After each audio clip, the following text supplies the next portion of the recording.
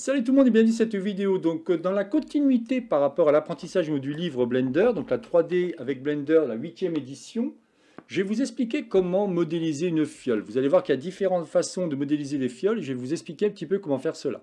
Alors on est sur la version 4.1.1 au niveau de Blender et on va voir un petit peu ce qu'il en est.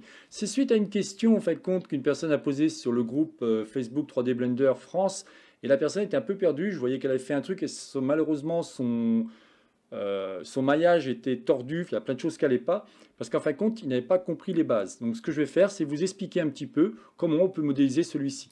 Alors bien entendu, si vous êtes débutant ou débutante, je vous montrerai tout à l'heure, si vous souhaitez, comment accéder à une formation afin d'apprendre les bases. Donc là, je supprime mon cube, j'appuie sur X et c'est parti. Alors, on va faire ici Shift A, on va mettre en premier une image de référence que j'ai récupérée sur euh, Pixabay. Parfait. Là, j'appuie sur S et on va agrandir celui-ci. GZ, on va le monter un peu. Alors là, comme je ne vois pas bien, je vais venir ici pour voir au niveau de mon opacité, on va diminuer celle-ci pour voir que celui-ci se positionne à peu près au bon endroit. Ok. Alors bien entendu, hein, quand vous modélisez, ce qui est vraiment cool, c'est d'avoir directement vos objets sous les yeux pour pouvoir les mesurer et avoir les dimensions réelles, ce qui est beaucoup plus cool. Moi, je vous avouerai que très souvent, j'aime bien modéliser ici en centimètres. Pourquoi? Parce que ça me permet de bien voir comment je travaille. Après, c'est un choix, mais je trouve que c'est plus cool comme ça. Ok, donc une fois que le curseur 3D est positionné, on va pouvoir faire ici un Shift A et on va mettre un mesh de type Circle. Alors quelque chose comme ça, vous voyez qu'on a approximativement pas mal.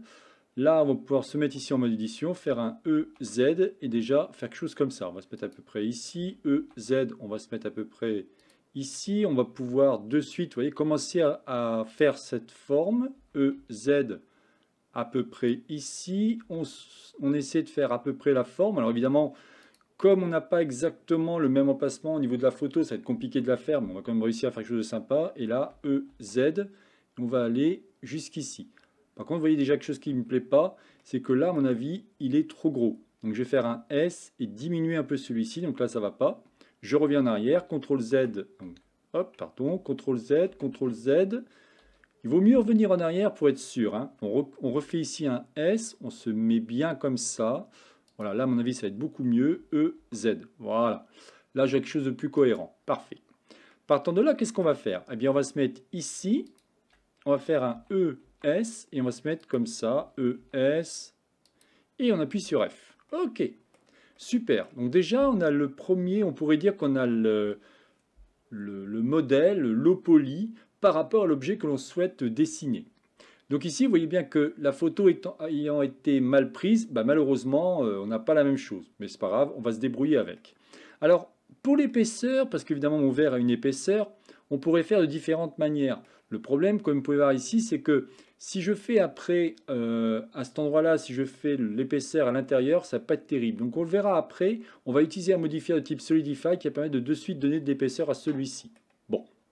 Ce qu'on peut faire par contre, par rapport à lui, c'est mettre un modifier de type plutôt Subdivision Surface. Vous voyez, pour quelque chose comme ça, qui est plus sympathique. On va se mettre à 2 et on va lisser celui-ci en faisant Shade Smooth. Vous voyez, de suite, on a quelque chose de plus sympa, c'est déjà plus cool. Bien. Ce qu'on pourrait faire maintenant, c'est quoi? Eh bien, on va pouvoir par exemple créer le bouchon. Et pour l'instant, je ne vais pas trop loin. Je vais juste vous montrer. Et le bouchon, ça fera une deuxième partie. Donc là, on va venir ici. Enfin, quand j'ai une deuxième partie, un deuxième objet. Hein. Je ne vais pas m'arrêter là, bien entendu. Hein. Là, je viens ici. Je fais un Shift D, Z. Je vais venir à peu près ici. E, Z. Et je fais mon extrude. À peu près ici. C'est pas très important. Et a priori, celui-ci, on va le remplir directement, on va pas s'embêter. On va faire un ES, on va faire quelque chose comme ça. ES, et on ferme. F. Comme je vous ai dit, on va faire un objet. Donc on appuie ici sur L automatiquement. Vous regardez bien. Mon élément, puisqu'il n'est pas lié à lui, on va pouvoir créer un nouvel objet. J'appuie sur P et je dis sélection. Partons de là, de là pardon, j'ai un nouvel objet. Ce qui est cool, c'est que si je clique ici, je peux cliquer sur ce qu'on appelle le View en mode Local View, Toggle Local View et accéder à celui-ci.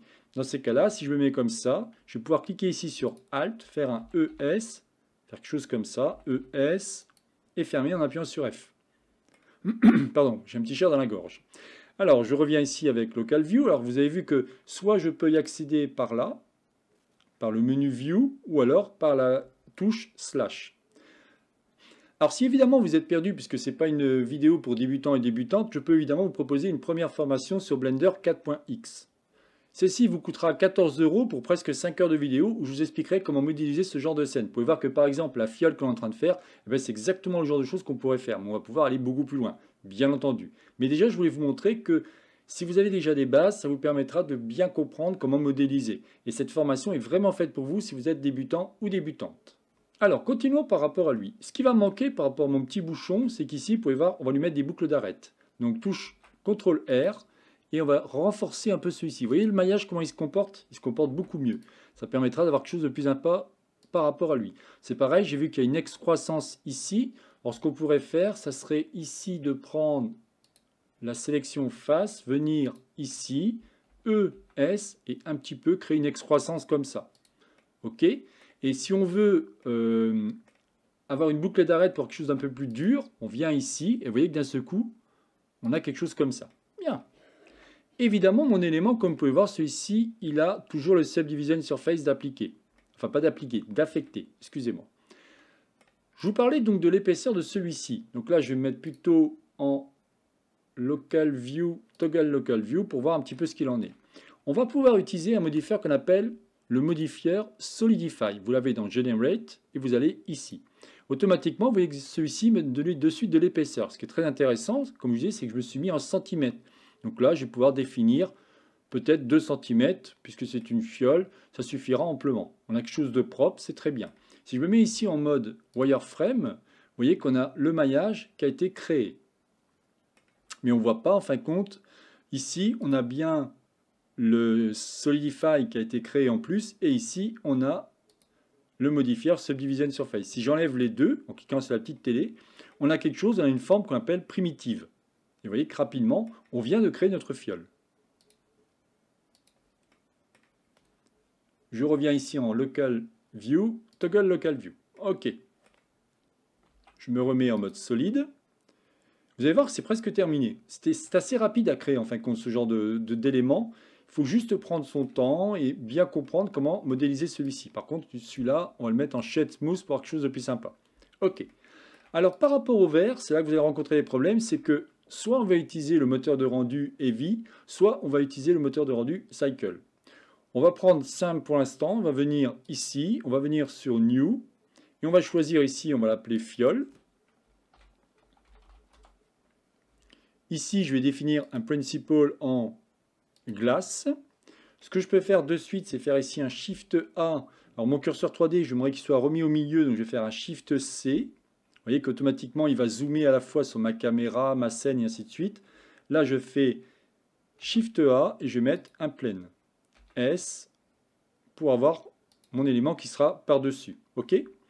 Partant de là, si je viens ici, donc quand vous venez ici, c'est marqué Index of Reflection. D'accord? Vous allez donc pouvoir modifier celui-ci en fonction du type de matériau. Là, si je me mets de suite comme ça, alors, peut-être pas avoir grand-chose, qu'il n'y a pas de lumière, il n'y a pas tout ça, il n'y a pas une map HDRI qui serait intéressante. Donc on va venir ici, on va définir une map HDRI de suite. Là, c'est en rose parce qu'en fin de compte, je n'ai pas pour l'instant défini une map HDRI. Je vais cliquer sur Open et récupérer celle-ci. Alors, qu'est-ce qu'on pourrait prendre? Par exemple, celle-là me paraît pas mal. Toutes ces HDRI ont été récupérées, enfin je dis HDRI, mais c'est HDR, ont été récupérées sur le site Polyhaven. Hein. Donc au cas où, si vous souhaitez récupérer celle-ci, il n'y a pas de problème. Donc là, pour l'instant, vous pouvez voir qu'on a quelque chose qui n'est pas du tout de la glace. Pourquoi? Parce que si vous regardez ici, on est avec le moteur de rendu Heavy. Moi, je vais mettre plutôt avec Cycle. Et tant qu'à faire, je vais mettre ici en GPU. Voilà.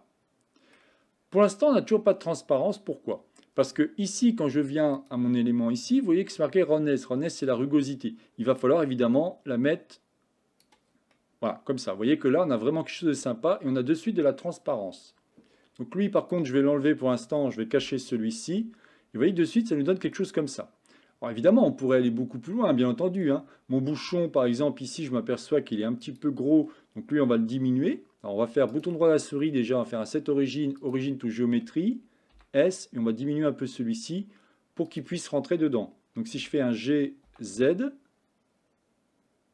il doit rentrer dedans, on va se mettre à peu près, on pourrait le mettre par exemple comme ça. ok? Et on pourrait mettre bien entendu une texture de type bouchon. Mais déjà, ce qui m'intéressait de vous montrer, c'est comment modéliser ce genre de fiole. Vous voyez que c'est assez rapide. On peut utiliser différentes techniques, mais vous allez voir que je vais vous faire plusieurs parties. Et je vais vous montrer quelles sont les manières de pouvoir modéliser ce genre de choses? Parce que dans le bouquin, eux, ils vous ont parlé, enfin, ils vous ont expliqué avec une autre manière. Et bien entendu, au fur et à mesure, je ferai en sorte de rendre la scène plus cool. Mais je voulais déjà commencer très simple. C'est donc la partie 1. Voilà, bah écoutez, je n'en dirai pas plus par rapport à cette vidéo. C'était vraiment une vidéo pour débutants et débutantes. Si vous souhaitez à modéliser une, fiole ou ce genre de forme, hein, ça peut être un verre, ça peut être plein de trucs. Mais la technique est exactement comme ça. Vous voyez que j'ai pas été trop loin, j'ai pas pas trop bougé mes vertices, j'ai fait un minimum. Mais vous avez une forme qui est, ma foi, fort sympathique.